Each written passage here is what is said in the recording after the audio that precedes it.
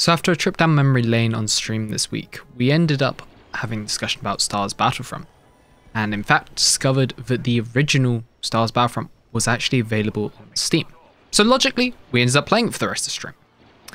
Now before we do continue, please do take everything I say with a pinch of salt, as although I didn't play as much of the first Battlefront as I did as the second when I was a kid, it is very much in the same vein of shooters I grew up playing. So I definitely have been wearing those rose tinted glasses for the past few days of playtime. But Battlefront 1, a forgotten gem. Wow. Just wow. This game released 17 years ago. And honestly, it holds up pretty well. Now, I'm not going to lie, I'm not going to beat around the bush. There are many things that are extremely dated about the game.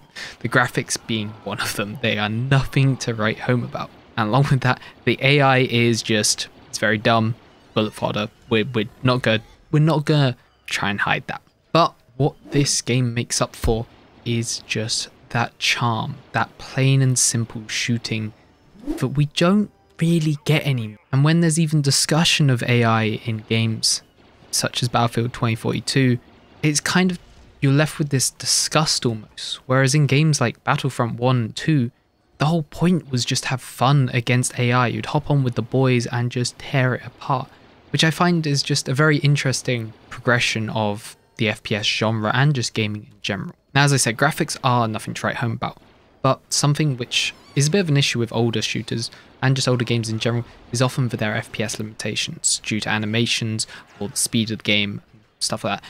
But performance was great on this. There was no FPS limitations, and there were times in the game mid firefight where I was above 500 frames. Now that that is excessive. That is excessive. I'm not gonna lie, but it felt so buttery smooth running through Naboo, Geonosis just blasting everyone, and it just not a single hitch. And that is what I want to continue on to.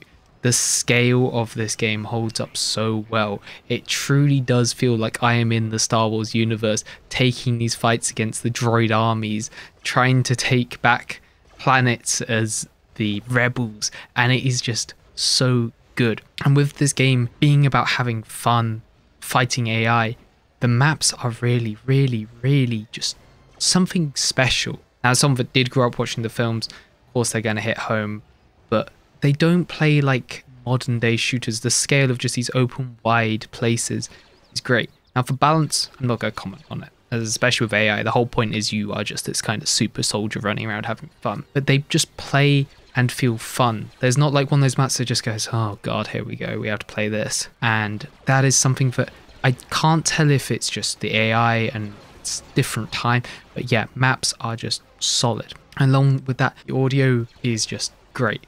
I, you can hear blaster shots, you hear you hear fighters flying past you, speeders, AT-ATs, and it is just so so cool.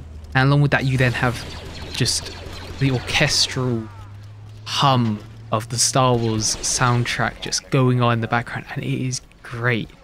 It is just so much bloody fun. And this whole time, I was not worried at all about min-maxing my character. You just have some base classes, no perks, no weapons, no bullshit. You just spawn in whatever you want and have fun.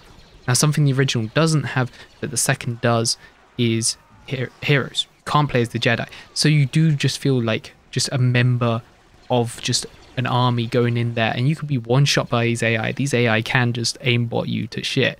But that is just great. And on top of these instant battles, there are campaigns for both the Clone Wars and the Galactic Civil. Now these are just glorified instant actions, but there are a few twists and objectives and it's all kind of tied together with scenes from the movie, which I just think is a nice touch, you know, it's a nice way of holding your hand and guiding you through the Star Wars universe.